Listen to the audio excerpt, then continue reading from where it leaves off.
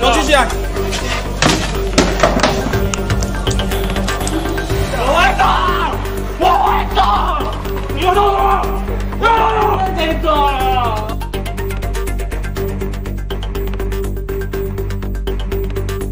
控诉被告涉犯刑法之杀人未遂、恐吓公众、危害安全，罪行明确，于今日一审，向台湾台中地方法院提起公诉。